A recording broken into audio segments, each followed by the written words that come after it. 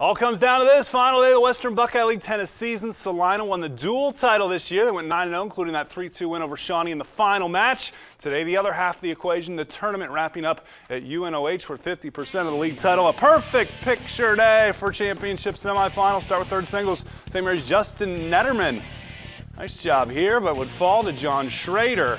Other semifinal for three singles. Shawnee's Ruthvik Avari showing why he's the top seed, forcing his man into the net. He's your champion over Schrader. First doubles now. Celina, the top seed. They've had a great year. I think they're undefeated. Isaac Elston, great net play.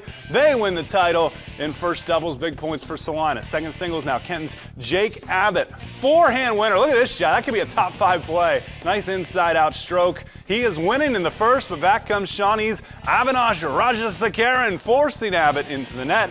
Avinash advances to the finals. He'd face the winner of the other semifinal. Celina's Alex Seibel, the number one seed, and a nice backhand here.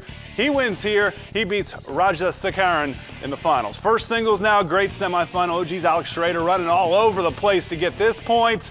As that goes just long, back comes Van Wert's Lane Mansfield drawing up an ace. But it's Schrader getting to the finals against Shawnee Jason Barton. Top seeded Barton is the winner, and that is big because Shawnee wins today's tournament. They share the team title with Celina. Ottawa Glandorf finishes in third. We like to share